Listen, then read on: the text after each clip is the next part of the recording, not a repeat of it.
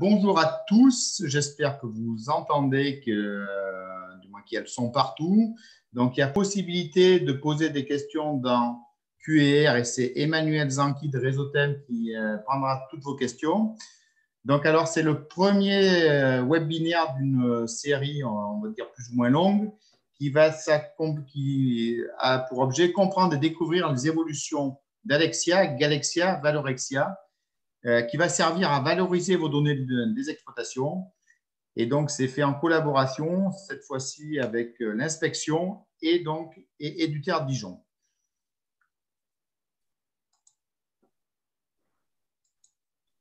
Les webinaires, donc, il va y avoir trois thématiques pour le premier trimestre 2021. Euh, la première, ça va être un thème sur la réglementation et les financements avec de, donc il y aura des questions sur les partenariats, sur la PAC, sur le plan de relance et sur le conventionnement.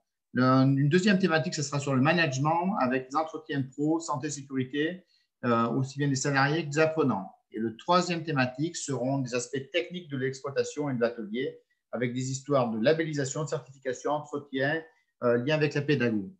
Ces webinaires, ils auront lieu tous les, vendredis, tous les deuxièmes vendredis de chaque mois à partir du mois de septembre. On vous donnera donc euh, à chaque fois des liens pour vous inscrire. Ils seront enregistrés. Ils auront lieu pendant une heure et ce sera à partir de 11h30 et euh, ça durera une heure. Alors, si possible, réservez vos dates. Donc maintenant, on va laisser la place à nos euh, intervenants. Le premier, c'est Patrick Lisée de l'inspection. C'est bon. Euh, vous m'entendez? Ok. Bonjour euh, à toutes et tous. Euh, donc, effectivement, heureux de participer à cette première série, enfin, cette première de la série des, webinaires. Et, donc, belle initiative qui devrait permettre de vous accompagner toutes et tous sur des sujets à la fois qui vous interrogent au quotidien et aussi sur des sujets euh, un peu plus euh, prospectifs. Euh, donc là, ce premier webinaire va effectivement traiter d'Alexia et, de ce qu'on appelle la sphère Alexia, j'y reviendrai. Peut-être pour faire une petite, un petit, historique rapide. Alexia donc, est né à la fin de, des années 2000. Euh, donc, il y avait déjà un système d'enregistrement des données des exploitations qui existait euh, avant Alexia.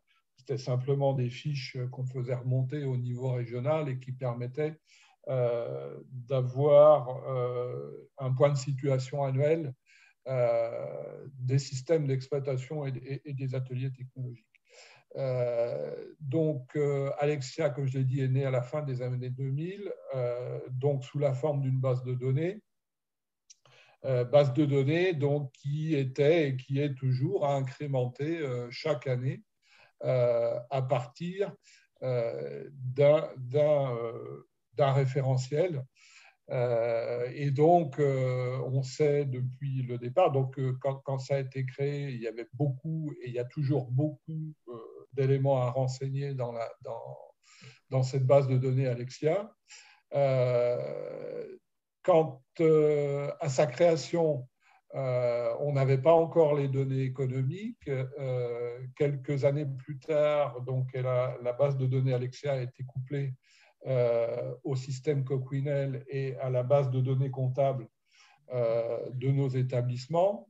Et donc, progressivement, c'est enrichi euh, pour autant, avec une difficulté majeure qu'on avait pointée déjà depuis un petit moment, mais euh, sur laquelle on n'avait pas euh, avancé, qui était le fait de pouvoir valoriser ces données tant au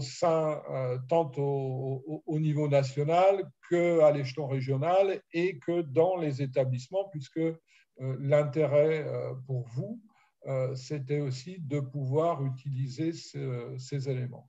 Euh, donc, il y a une réflexion qui a été menée sur la manière dont on pouvait valoriser ces données, ce qui a amené euh, à simplifier euh, la saisie en essayant de conserver des informations pertinentes pour tout le monde.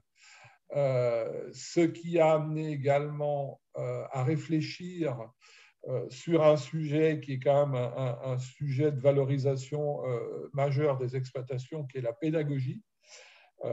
Aujourd'hui, on a quand même une difficulté de manière générale, hein, que ce soit au niveau national ou au niveau local, pour avoir des données fiable en matière fiable et suffisamment précise en matière d'utilisation pédagogique des, exploitations. Vous remplissez, chacun remplit correctement euh, chaque année, essaie de remplir correctement chaque année euh, les rubriques euh, qui sont demandées. Pour autant, on s'aperçoit qu'il est difficile en fin d'année d'aller pour vous rechercher au travers différents formats les données d'utilisation pédagogique. Et donc, euh, est venue l'idée de créer euh, en parallèle ou euh, collé à Alexia, entre parenthèses coller à Alexia, un module qui s'appelle Galexia et donc qui permettra, et on va vous l'expliquer tout à l'heure, enfin qui permet déjà, puisqu'il est opérationnel, mais qui va vous permettre de saisir ou de faire saisir au fur et à mesure du déroulé des activités pédagogiques sur l'exploitation, l'ensemble des données que vous allez pouvoir, en fin d'année, euh, restituer devant les instances, euh, devant certains de vos partenaires, devant les équipes.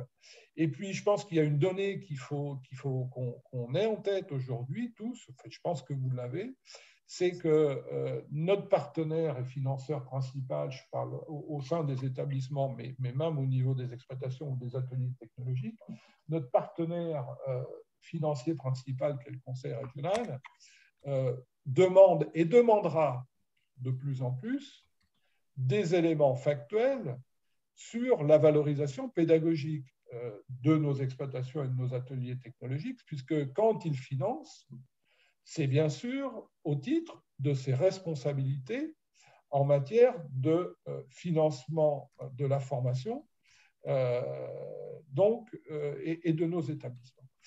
Donc, Galexia doit pouvoir, de manière assez facile, si tant est que tout au long de l'année, les choses ont été suivies et remplies correctement, va pouvoir vous aider à restituer de manière fiable et précise toute cette valorisation pédagogique, qui est un point important. Et le dernier élément, je l'ai déjà évoqué, donc c'est Valorexia. Euh, Valorexia, qui est euh, un, outil d'analyse statistique, hein, qui a été aussi euh, construit ces, dernières années et qui permet aux différents échelons géographiques, que ce soit localement, régionalement ou nationalement, d'agréger des données et de restituer par des visions sectorisée ou globale la photo de vos exploitations ou de vos ateliers technologiques euh, en termes économiques, en termes techniques, euh, et donc euh, là aussi pouvoir renvoyer de la communication vers vos partenaires et en interne. Voilà, j'espère pas avoir été trop long, et puis ben, je vais passer la parole euh, à Hervé Longy et puis aux spécialistes qui vont vous présenter euh, de manière plus détaillée ces évolutions. Donc, je reprends la parole deux minutes juste pour vous dire que donc Alexia, il y a eu des révisions. Donc Alexia, c'est quand même voué sans doute à, devenir plus convivial et surtout aller sur d'autres types de, produits qu'on va voir à travers Galaxia et Valorexia. Donc Alexia a été révisé sur de manière à recueillir et stocker, surtout être capable de valoriser des données qui, sont, qui doivent être exploitables. Donc, et ça s'est mis sur le fait qu'on va essayer de s'adapter aux politiques publiques pour bien répondre donc à ces besoins euh, d'évaluation des politiques publiques.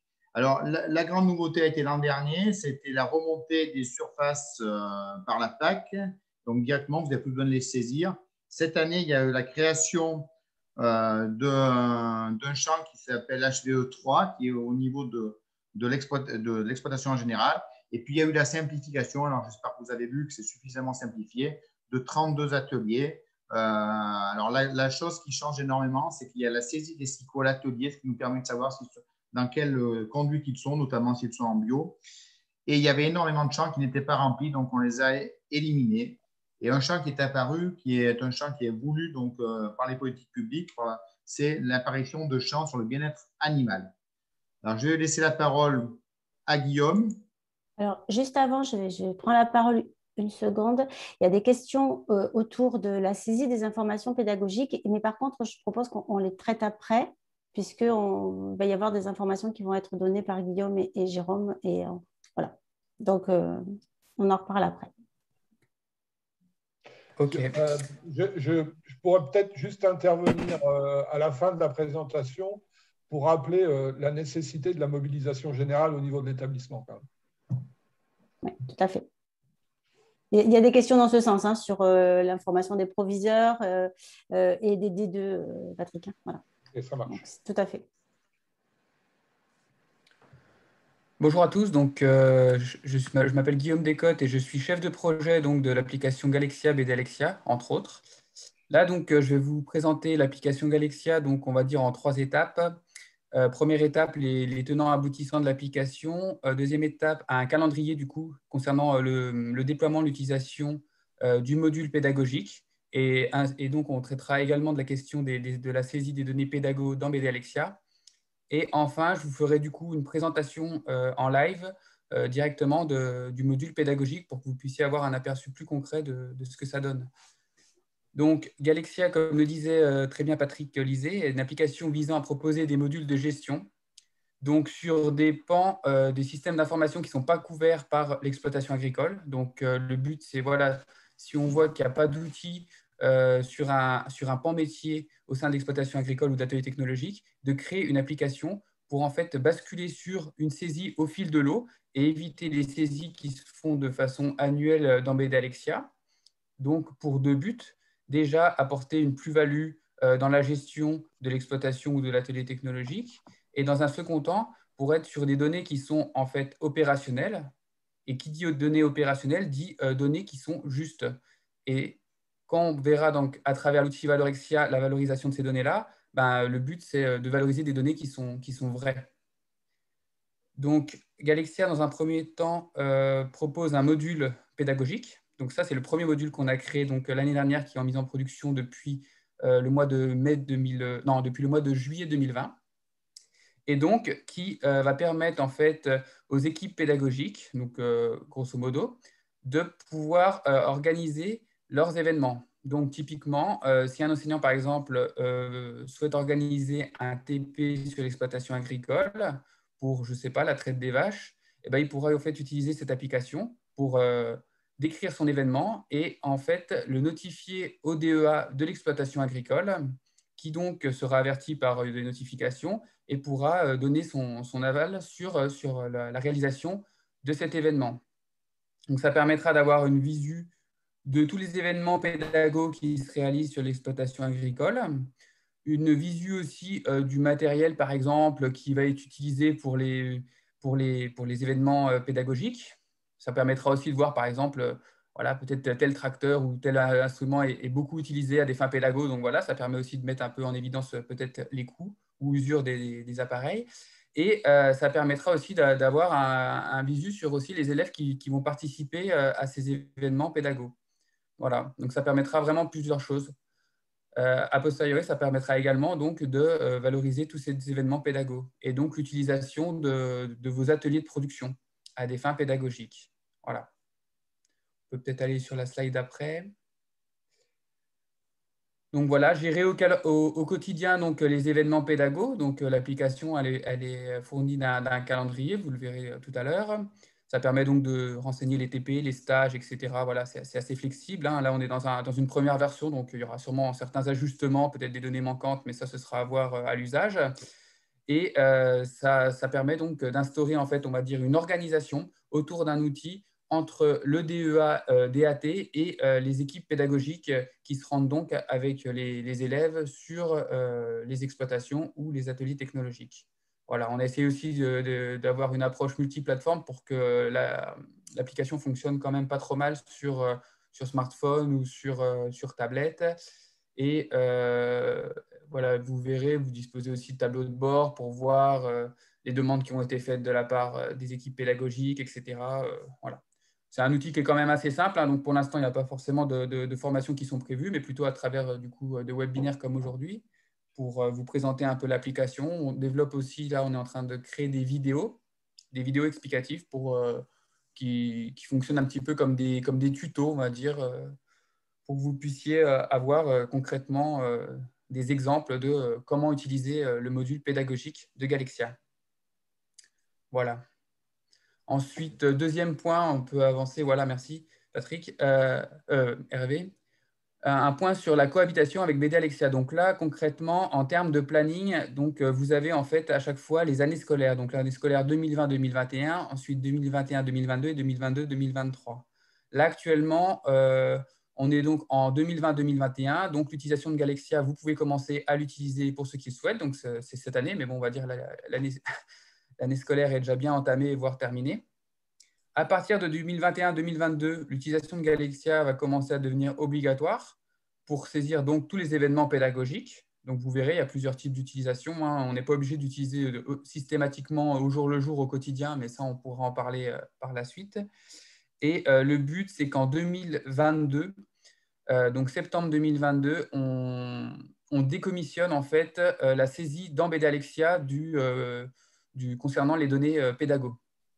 Voilà, puisque étant donné que BD Alexia fonctionne euh, avec une année de retard, euh, l'année 2021-2022, vous l'aurez saisi dans BD Alexia, dans Galexia, pardon, donc il n'y aura pas de souci. Par contre, l'année 2020-2021, donc cette année-là, il faudra bien la saisir quelque part. Quoi.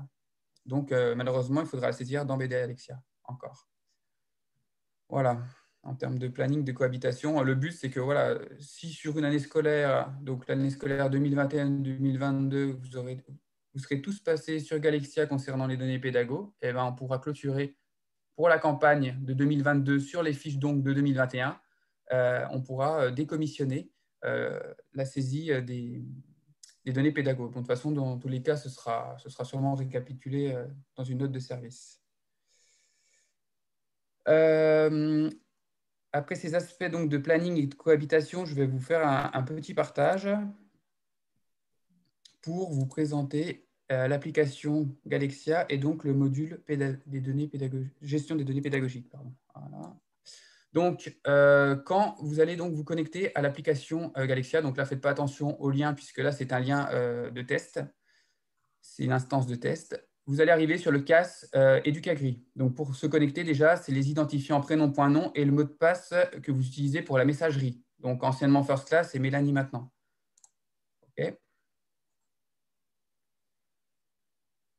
Quand vous vous connectez, donc, euh, votre structure et votre rôle est récupéré automatiquement depuis un système qui contient en fait les données euh, en provenance d'un logiciel de gestion des ressources euh, humaines des fonctionnaires. Donc, euh, en gros, depuis Guépard, l'application Guépard. Donc, normalement, pour vous connecter, vous n'avez rien besoin de faire. Vous vous connectez et ça doit fonctionner. Dans certains cas, il peut y avoir des ajustements. Ça veut dire que, en fait, au niveau RH, vos informations n'ont pas été mises à jour. Voilà. Quand vous vous connectez sur l'application, vous aurez donc le choix entre deux modules. Le module rapport et tableau de bord, ce sera l'application Valorexia. Donc ça, ce sera Jérôme Galopin qui va vous la présenter. Et moi, je vais vous parler de la gestion de l'activité pédagogique qui se trouve donc à gauche. Lorsqu'on clique sur la carte, on arrive automatiquement sur le calendrier, donc qui est le cœur de l'application. Le calendrier qui permet de saisir les événements pédagogiques. Mais au préalable, pour utiliser l'application, vous allez devoir décrire en fait des données de référence données de référence qui sont propres à chaque exploitation agricole, atelier technologique. Donc, c'est des données qui donc euh, sont propres à votre activité. Elles se décrivent en trois parties. Les supports pédagogiques, c'est typiquement ce sur quoi les euh, apprenants vont travailler. Donc, par exemple, s'ils font la traite des vaches, euh, ils vont travailler avec des vaches, donc avec des vaches allaitantes. ok? Donc, je vais les créer de cette façon en cliquant sur le bouton plus. Là, sachant que ce n'est pas une formation que je vous montre, hein, c'est une présentation. Je vais sélectionner l'atelier de production. Là, c'est un petit peu long parce que je suis en partage. Vous verrez que c'est plus rapide. Voilà. Et je vais l'ajouter. Il y a des petites notions soumises à validation, etc. Si vous voulez rendre obligatoire la validation pour les, les, comment, les demandes de validation obligatoires pour les enseignants. Vous allez pouvoir y ajouter des ressources matérielles. Donc là, par exemple, le chariot de traite. Et vous allez pouvoir également y ajouter des ressources humaines. Les ressources humaines, c'est les salariés de l'exploitation agricole. Et en fait, qu'est-ce qu'elles font là? Eh ben, Dans la plupart des cas, quand j'ai créé l'application, euh, j'étais dans un groupe de travail avec plusieurs DEA, DAT qui m'ont en fait expliqué voilà, les enseignants, par exemple, pour créer un événement pédagogique, ils vont avoir besoin d'être accompagnés par un salarié, soit au début du TP, soit être accompagné tout au long de l'événement pédagogique. Donc, vous pouvez rajouter, créer vos salariés. Voilà. La fonction, l'email, pour avertir par email votre salarié euh, des événements dans lesquels il va être euh, inclus. Et voilà, une fois que vous avez renseigné tout ça, donc ça se fait quand même assez rapidement, hein, c'est assez simple. Une fois que vous avez créé donc les supports pédagogiques, donc ça peut être euh, des troupeaux, ça peut être des parcelles de terrain, des parcelles de vignes, etc. Le matériel que vous jugez nécessaire pour euh, les événements pédagogiques et que vous souhaitez suivre, en fait. Donc, euh, ça n'a pas forcément d'intérêt, par exemple, de mettre les binettes ou quoi, mais euh, peut-être qu'un tracteur, c'est un engin qui est quand même plus conséquent et qu'on ne peut pas forcément partager. Donc, ça peut être un intérêt de le mettre. Voilà. Une fois que vous avez mis tout ça, là, l'application, en fait, elle est opérationnelle. C'est-à-dire que là, je vais pouvoir créer un événement. Voilà en y ajoutant un titre. Dans un premier temps, le titre, c'est la seule information qui est obligatoire pour pouvoir l'enregistrer. Et je vais pouvoir décrire mon événement. Donc là, c'est un travaux pratique, un TP. On va le faire sur les vaches, donc les vaches allaitantes qu'on a créées précédemment, vous voyez, on les retrouve là. Ressources matérielles, je vais avoir besoin du chariot de traite. Et ressources humaines, peut-être que je vais avoir besoin d'un salarié ou pas. Voilà. Et à partir de ce moment-là, de toute façon, on peut enregistrer l'événement. Vous allez voir que quand vous enregistrez un événement sans l'avoir validé, il passe à l'état euh, gris. Ok? Il y a trois couleurs. Gris, il est en préparation et uniquement visible par, euh, euh, par le créateur. Ok? Quand il est en orange, ça veut dire qu'il y a une demande de validation qui a été faite. Donc ça, ça ne concerne pas vraiment les DEA, DAT, puisqu'ils n'ont pas besoin d'effectuer une demande de validation. C'est eux qui sont garants de l'organisation et, responsables du système. Mais les enseignants, eux, ils font des demandes de validation dans la plupart des cas. Voilà. Donc, eux, leur événement, il sera en orange quand ils auront, ils auront fait une demande de validation. Et vous pourrez le voir dans le tableau de bord, via les notifications et par email. Une fois qu'il est vert, c'est qu'il a été validé. Donc, une fois que l'événement est validé, il est visible par toutes les personnes qui ont accès à l'exploitation agricole euh, en question, qui ont des droits. Voilà. Là, il est vert. Tous les enseignants de l'établissement y ont accès et euh, le DEA, bien évidemment. Ce qui fait que vous avez vraiment un visu donc, des événements pédagogiques qui se, réalisent qui vont se réaliser sur euh, l'exploitation agricole ou se sont réalisés. Il y a également une, une petite partie participants, c'est-à-dire que vous pouvez, enfin, les enseignants pourront également aussi y ajouter les, les, les apprenants. Donc, là, si on est sur les terres de Lyon, je vais récupérer donc les informations du lecta d'Auxerre. Et là, dans les divisions, en fait, je vais avoir les classes de l'année scolaire en cours. Et là, je pourrais en fait, donc euh, l'enseignant ou vous pourra sélectionner voilà, les apprenants à l'événement, c'est-à-dire qu'ils seront liés. Donc, on sera en capacité en fait de dire aussi euh, qui est présent sur, euh, sur l'exploitation agricole au niveau des, apprenants. Voilà à peu près un champ commentaire. On a fait à peu près le tour là, du formulaire, donc qui, est quand même assez, euh, assez simple, contient peu d'informations. On est vraiment sur des informations qui sont opérationnelles, qui, qui, qui, doivent servir. Et donc, il n'y a vraiment pas normalement d'informations inutiles, on va dire. Voilà, j'ai à peu près fait le tour de l'application, les notifications, qui, sont, qui arrivent voilà, quand, il y a, une demande de validation, etc. Vous, vous aurez également, en tant que DEA-DAT, donc le tableau de bord en fait, qui permet de voir euh, les événements à venir, les événements en attente de validation. Là, on est sur euh, une exploitation agricole qui est en test et donc qui contient aucune information. Donc, c'est pour ça que c'est vide. Mais, voilà, l'idée. Le tableau de bord pour avoir un visu euh, des événements qui vont, arriver, des événements en attente de validation. Et à chaque fois, dans tous les cas, le calendrier pour avoir une vue d'ensemble sur les événements pédagogiques de l'exploitation agricole ou de la technologique avec la possibilité de changer les filtres, etc. Et puis enfin, voilà aussi une partie ressources qui permet aussi de suivre l'utilisation en fait des, supports pédagogiques. Des supports pédagogiques ou euh, du matériel aussi. Euh, juste, Guillaume, est-ce que tu peux dire en trois mots ce que tu as utilisé le terme de décommissionner? Est-ce que tu peux dire ce que ça veut dire en trois mots Oui, alors quand je disais que le, la saisie pédago dans BDALEXIA serait décommissionnée, ça veut dire qu'en fait, on va euh, supprimer cette partie-là de BDALEXIA. On va supprimer les formulaires. Parce que du coup, c'est évident que puisque vous utiliserez euh, le module pédagogique de gestion pédagogique au sein de Galexia, vous n'allez pas saisir à deux endroits en même temps. Donc, dans BDAlexia, on va supprimer la saisie. Et c'est exactement ce que disait Patrick ou Hervé. Petit à petit, on va essayer de glisser sur Galexia en proposant soit des passerelles. Donc, des passerelles, qu'est-ce que ça peut être? C'est typiquement ce qu'on a fait sur BDAlexia en important des données depuis un système déjà existant concernant les données PAC. Pour l'instant, on l'a mis dans BD Alexia puisque Galaxia n'était pas encore sorti. Mais donc, euh, soit en créant des passerelles, donc des imports-exports de fichiers, pour plus vous demander en gros de retaper et de saisir à la main toutes les informations que vous devez saisir dans BD Alexia, ou sur les pans non couverts des applications de gestion où euh, on pense que ça peut apporter une vraie plus-value d'avoir un outil comme ça euh, pour à la fois organiser et valoriser par la suite.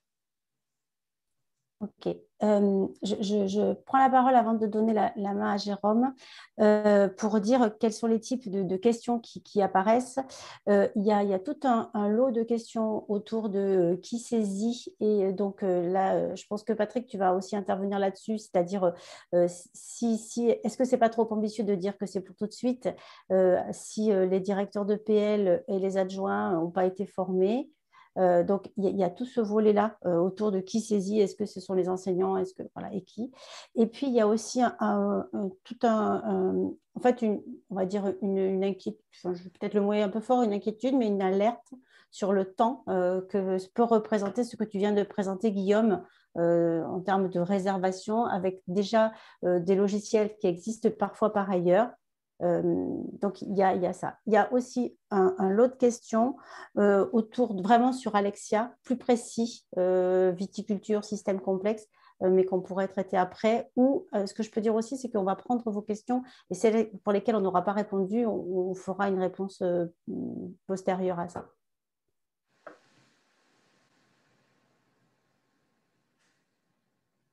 Sur les aspects euh, Patrick, est-ce que tu veux intervenir maintenant euh, sur, les aspects EPL euh, e en fait et, qui saisit et, comment on va former les gens et,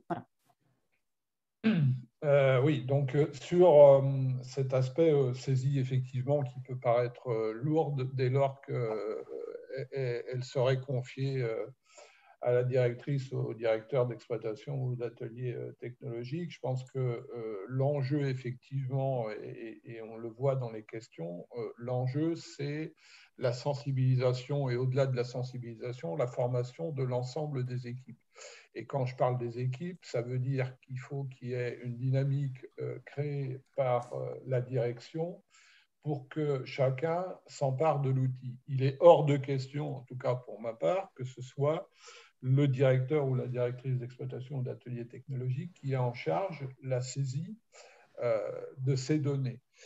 Et si, entre guillemets, ça devait être le cas, ça ne pourrait être que momentané. Et dans nous, les, les, les, les échanges qu'on a eus avec un certain nombre de, de directeurs et de directrices, on ne pourrait l'envisager euh, dans les premiers temps que lors des réunions d'exploitation euh, du lundi ou du mardi ou du mercredi, peu importe, où euh, les enseignants seront là et puis on s'auto-forme ensemble, mais à condition qu'au bout de deux à trois semaines, l'équipe et les enseignants soient opérationnels pour saisir eux-mêmes leurs demandes d'activité. Donc l'objectif, c'est que chacun se responsabilise sur euh, l'outil et que euh, le directeur d'exploitation ou la directrice euh, n'ait plus qu'à valider, donc c'est-à-dire à donner son accord pour le dérouler des opérations. Donc ça, c'est un premier point. Ça demande à ce qu'effectivement, comme j'ai dit tout à l'heure, il y ait une sensibilisation des équipes de direction. Donc normalement, alors je ne sais pas où on en est de ce point de vue-là, mais il était prévu qu'il y ait une communication euh, importante qui soit faite au niveau des SRFD pour que derrière le dispositif de formation qui était prévu, alors je ne sais pas si, euh, Dominique est là, euh, mais, ou si on pourra aborder la, manière dont on avait envisagé le déploiement au niveau des établissements, mais donc nous, on mise sur une mobilisation de chaque niveau régional pour que derrière, cette dynamique qui va passer par la direction des établissements et par les équipes de direction essaime sur les équipes pédagogiques. Mais en aucun cas, ça ne peut relever que de la seule et unique responsabilité du directeur d'exploitation. Au final, je le répète, le directeur d'exploitation ne devrait être là que pour valider euh, des demandes d'utilisation pédagogique. Alors ça, ce n'est pas forcément euh, demain, mais ça doit être au moins après-demain. Merci. Donc, je sais pas merci. On prend une autre question, là, parce qu'il y en a tout plein là, sur. Manuel euh, euh, alors, sur Galexia, il y a des questions qui sont autour des groupes. Hein. des groupes, est-ce qu'on peut rentrer des petits groupes et tout ça? Donc là, je pense qu'on est à peu près à peu près euh, OK là-dessus.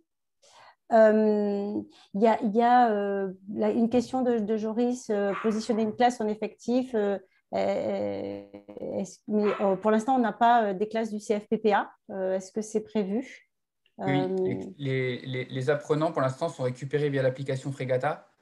Pour l'instant, Fregata ne dispose pas donc des, apprentis, mais tu, me dis si je tu me dis si je me trompe, Jérôme, je pense qu'à partir de septembre, ça devrait peut-être être le cas Oui, les établissements pourront, à partir de, septembre, commencer d'intégrer les apprentis directement dans Fregata. Voilà. Donc, si, les établissements intègrent les apprentis dans Fregata, ils seront euh, automatiquement accessibles à travers Galexia. Voilà. En attendant, effectivement, euh, là, les, les apprenants, des apprentis ne seront pas disponibles. Donc là, on est en train de faire une mise à jour pour que, en tout cas, vous puissiez quand même euh, sélectionner le CFA, mais sans aller plus loin uniquement le, CFA ou le CFPPA, voilà, et puis euh, renseigner ensuite euh, juste un effectif. Et, donc, euh, donc, donc, on revient là, donc, là-dessus, OK, sur le, CFPPA. et la question aussi qui a été posée, c'est si, si on a d'autres classes hors EPL, éducation nationale, est-ce qu'on peut, qui est mm. partenaire, est-ce qu'on pourra intégrer ces classes-là et c'est oui. DEA Alors, oui. Alors, vous ne pourrez pas évidemment euh, euh, sélectionner en tout cas les élèves, mais par contre, vous pourrez euh, sélectionner les, structures, donc que ce soit les lycées, les collèges, etc. là, on a aussi à travailler un petit peu là-dessus pour essayer d'améliorer la, recherche, parce que ce n'est pas forcément évident des fois de trouver avec le bon nom le, lycée. Et ensuite, par exemple, vous pourrez sélectionner, enfin, rechercher et dire que par exemple, c'est une classe de seconde, une classe de première, etc. Ça n'ira pas plus loin en tout cas pour, pour l'EN. Quoi. D'accord. Euh, on, va clore là-dessus. Il, y a quand même de l'inquiétude sur le fait de dire, mais c'est pour septembre, quoi, donc euh, c'est tout bientôt. Euh, juste une question aussi sur la durée d'un événement. Est-ce qu'un TP de deux heures, tout ça, on, peut l'intégrer? Voilà, un TP de deux heures, un TP de, plusieurs jours. On peut aussi dupliquer des, des événements. quand on les duplique et qui sont en préparation aussi, on peut les glisser. On peut les glisser dans l'agenda dans pour les déplacer, puis ça change automatiquement les horaires, etc. Voilà, y a pas de... Euh, Emmanuel, moi je voudrais euh, enfin, insister sur, sur un point là, et, par rapport à une question qui est posée par, par Stéphane Barbour, euh, et qui dit si un enseignant ne remplit pas le formulaire, ce sera au DEA de le, faire, avec point d'interrogation je, vais vous dire, je veux dire, ça dépend des règles que vous allez fixer en interne. Ça, c'est bien de la responsabilité de l'organisation de l'établissement. Donc, c'est pour ça qu'il y, a un vrai travail là, euh, dans, les jours qui viennent euh, en équipe de direction euh, à, faire sur la stratégie que vous allez déployer en interne pour mettre en œuvre cet outil. pour moi, sur la question de Stéphane Barmois, si un enseignant n'a pas rempli le formulaire, je le dis de ma position, s'il n'a pas rempli le formulaire, ça veut dire que vous n'aurez pas validé le TP et donc il n'y aura pas de TP. pointe à la ligne. Donc ça, c'est des règles. Alors, ça peut être, on peut avoir un peu plus de souplesse, on peut euh, euh, trouver euh, des modus vivendi, mais, mais pour autant, il faut que les règles soient fixées en interne. C'est bien de la responsabilité et ça peut renvoyer, et à mon avis, ça doit renvoyer au règlement intérieur. Ok, merci Patrick. On va laisser la parole à Jérôme. Donc on va parler de Valorexia. Donc moi, je suis euh, chef de projet euh, à GrosSup sur la partie Valorexia. Et euh, l'objectif de ce projet, c'était de proposer un outil d'analyse statistique et décisionnelle qui vous permette en, établissement, localement, de pouvoir exploiter les données qui étaient saisies dans BD Alexia. Parce qu'en fait, voilà, il y avait pas mal de saisies de fait, mais en fait, assez peu de retours et euh, les retours étaient assez complexes à traiter au niveau euh, statistique. Il y avait eu, je sais, à une certaine époque, un, module dans, BD Alexia qui permettait un peu de, faire de l'analyse statistique, mais euh, voilà, il y a eu des soucis techniques sur, sur ce module. Et donc, on a décidé de travailler dans cette direction pour pouvoir proposer un outil qui soit moderne, qui soit puissant, euh, et donc, avec Valorexia, on va euh, vous mettre à disposition un outil décisionnel, euh, des rapports préétablis que vous pourrez directement utiliser en l'état. Donc, on verra tout à l'heure, notamment avec un, rapport qu'on a pensé pour la préparation du conseil d'exploitation. Et puis également, Valorexia va vous donner la possibilité, au travers des rapports qu'on met à disposition, euh, de l'utiliser pour exporter des jeux de données pour que vous puissiez derrière vous les récupérer également dans Excel ou dans d'autres outils pour euh, faire le traitement que vous, souhaitez. Et puis à terme, euh, on souhaite également pour ceux qui le, qui le souhaiteront hein, la possibilité de créer des rapports personnalisés. Alors, je vais vous montrer euh, à quoi correspond, euh, à quoi ressemble euh, cet outil. Je vais partager mon écran.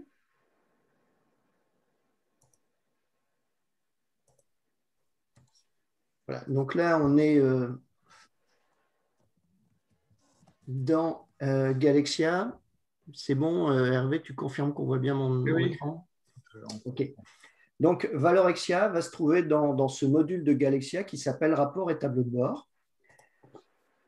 Et donc, euh, automatiquement, en fonction de, votre connexion, euh, l'outil va vous proposer un certain nombre de, dossiers qui contiennent des rapports. Donc, il y aura un dossier avec des rapports spécifiques au, DEA, DAT.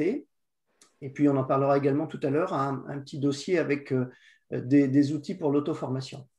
Donc, si je vais dans, le dossier euh, des DEA, DAT, j'ai notamment à disposition un rapport qui s'appelle Conseil d'exploitation et euh, on, va pouvoir en discuter, euh, qui va montrer les données principales tirées de BD Alexia concernant votre, votre, exploitation. Donc, c'est directement intégré dans Galexia et ça va vous permettre d'accéder très facilement à de l'analyse décisionnelle. Alors, on va regarder un petit peu ce, rapport.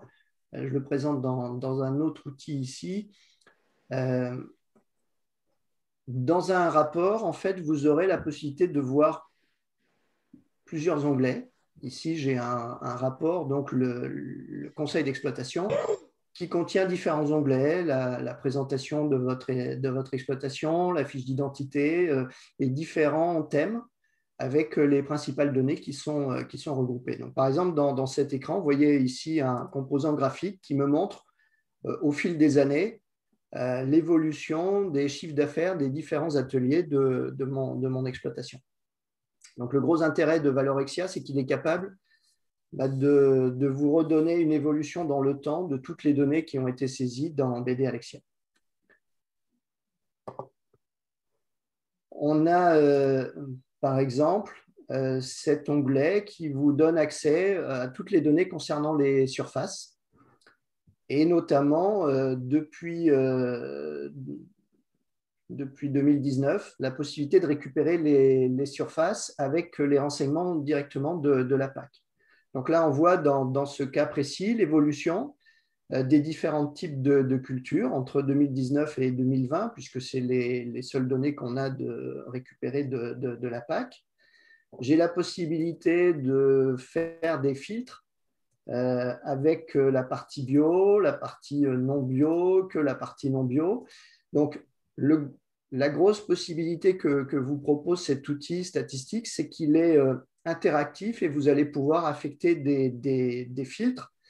Par exemple, ici, si je veux euh, euh, m'intéresser à l'année 2020, je clique ici sur l'année 2020, là également, et du coup, je n'ai plus que la répartition de mes cultures euh, en fonction de ce que j'ai choisi ici. Donc là, j'ai cliqué sur euh, les prairies et pâturages de l'année 2020 et je vois la répartition des prairies et pâturages sur cette année. Si je sélectionne euh, la partie céréales, je vois ici la répartition des céréales. Donc c'est dynamique et vous allez pouvoir donner le focus sur les éléments qui vous intéressent. On a essayé de, travailler sur euh, les différents types de données. Donc là, on a vu, euh, vous avez des données euh, qui concernent les surfaces. On a essayé de présenter toutes les données qui concernent l'équipe salariée de l'exploitation avec des chiffres clés, l'évolution de la masse salariale, les charges de personnel, les nombres de TP masculin, féminin, l'évolution, enfin des données sur les, niveau de formation, niveau de responsabilité des salariés. Euh, voilà, vous avez ici des, indicateurs qui concernent l'équipe salariée. Vous aurez également des indicateurs sur la partie euh, bilan de production. Donc là, j'ai la possibilité, année par année, de pouvoir euh, m'intéresser aux chiffres de la production. en sélectionnant par exemple ici dans le camembert la partie bovin-lait, euh, je ne vois plus que les indicateurs de production pour l'année 2019 sur euh, mon atelier bovin-lait, euh, donc avec la possibilité d'analyser un peu des, tendances et de voir ce qui s'est passé. On a ces mêmes chiffres présentés un peu différemment. L'idée ici, c'est de, voir l'évolution dans, le temps. Donc l'évolution des principaux indicateurs de mon atelier bovin-lait. Je peux également décider de, présenter moi-même quelques, indicateurs et euh, de les mettre en, en relation les uns avec les autres, d'en comparer certains et de pouvoir mettre en évidence des, tendances.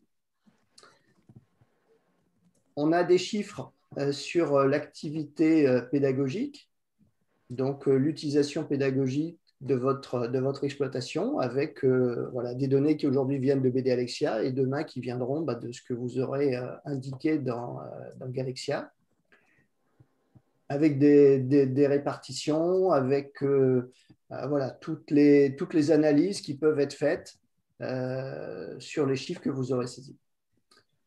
on a un petit tableau également sur la partie autres missions euh, les actions euh, particulières ou innovantes.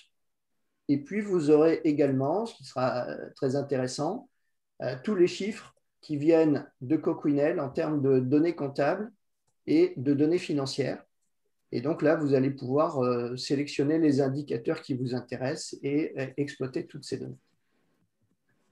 Alors, ce que vous permet l'outil au niveau de l'analyse de ces données, il vous permet de les imprimer.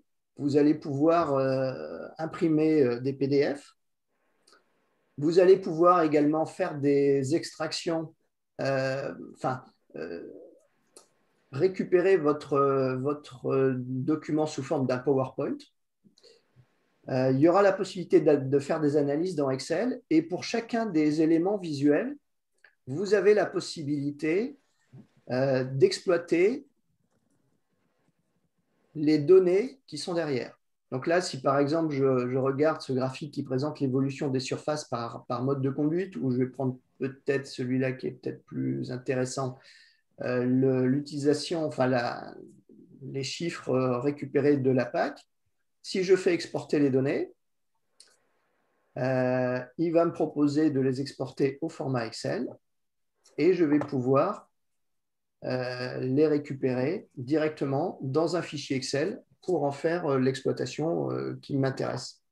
Donc en fait, cet outil-là va vous permettre également assez simplement par thème euh, par thème de, récupérer les données de base et de pouvoir faire vos propres présentations. Vous aurez également la possibilité, sur chacun des graphiques, euh, vous avez ce petit icône-là, et vous pouvez faire une copie du visuel, le copier dans le presse-papier, et euh, par exemple le récupérer dans un document Word ou dans d'autres documents pour pouvoir voilà, expliciter, illustrer votre conseil d'exploitation. Donc, l'idée de, cet outil, c'est pas de générer du papier, mais c'est vraiment d'être sur une analyse interactive des chiffres de, votre exploitation. Et donc, vous, on pourrait même imaginer d'utiliser pendant euh, la présentation euh, du conseil d'exploitation, euh, d'utiliser en direct live le tableau de bord qu'on vous propose ici.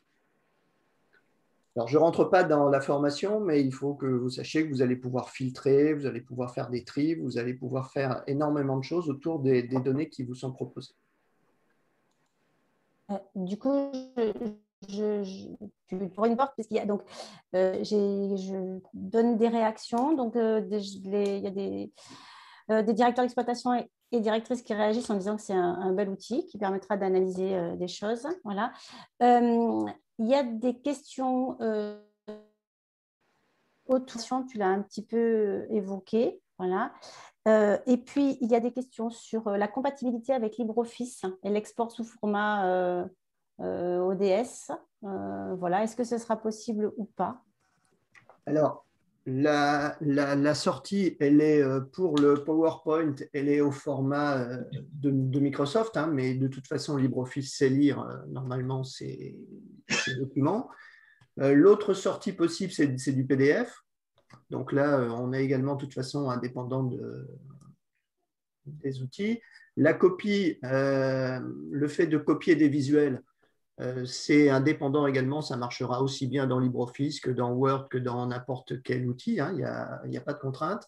Et puis quand vous exportez les données, vous pouvez bah, les exporter au format Excel, donc là bah, LibreOffice euh, sait lire, euh, sait lire, ces données.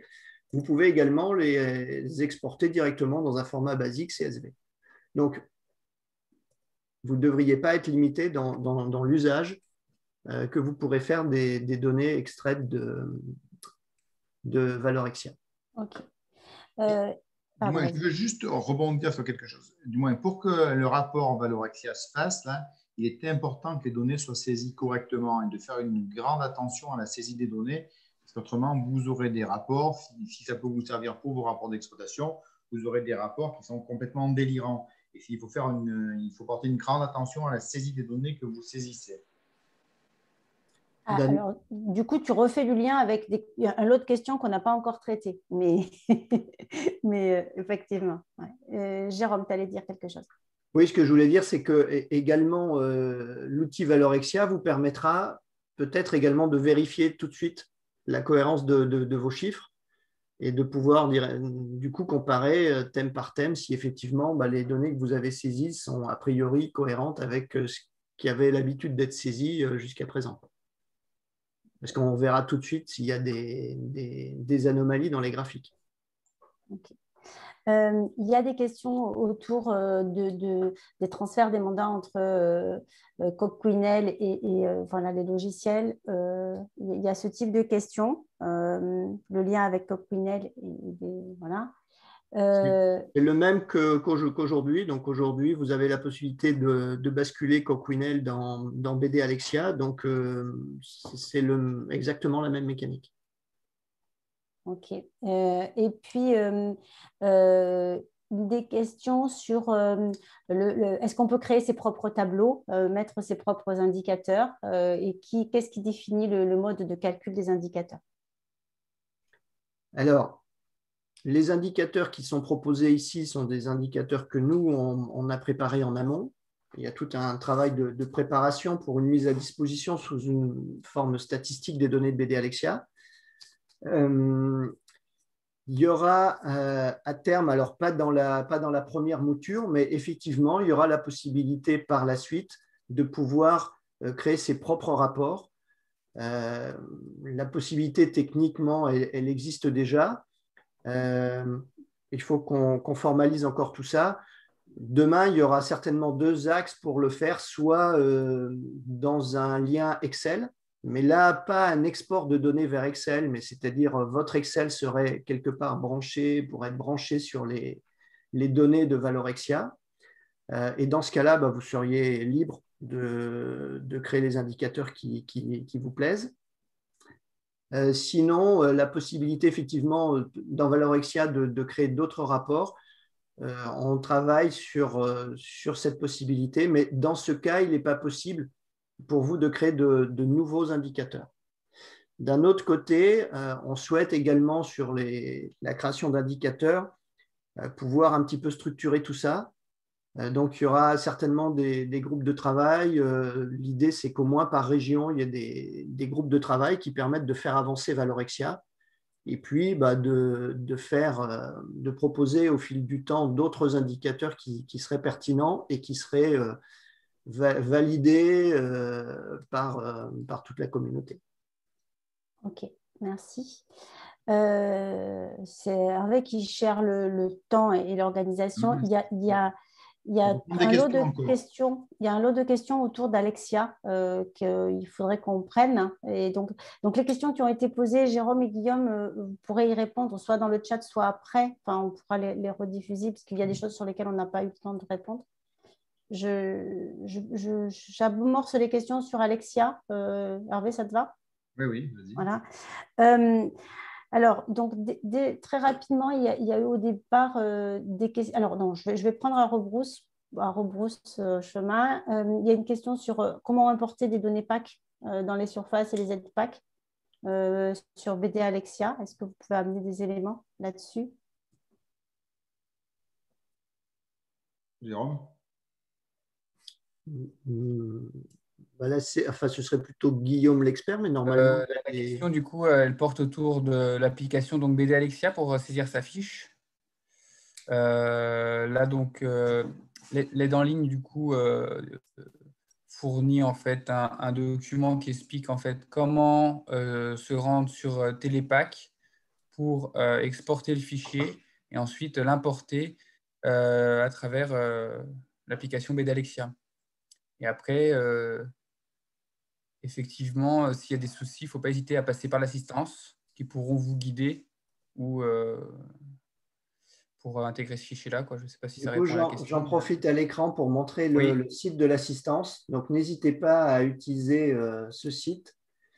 Et là, vous avez tous les éléments. Et donc, si vous appelez l'équipe AgroSup de, de l'assistance, ils sauront vous répondre sur les problèmes de code d'accès, sur les problèmes euh, voilà, de comment saisir les données dans, BD Alexia, euh, il n'y a pas de souci, vous aurez toute mm, mm, l'assistance mm. nécessaire. OK. Et c'est également du coup à travers ce site-là, donc c'est pour ça que c'est très important de le rappeler, que c'est à travers ce site-là aussi qu'on va, qu'on va vous mettre à disposition, par exemple, les vidéos euh, qui vous expliquent comment, comment utiliser Galexia ou les plaquettes de communication, les notes de service, tout ça, vous pouvez à chaque fois le retrouver sur knerta-support Ok.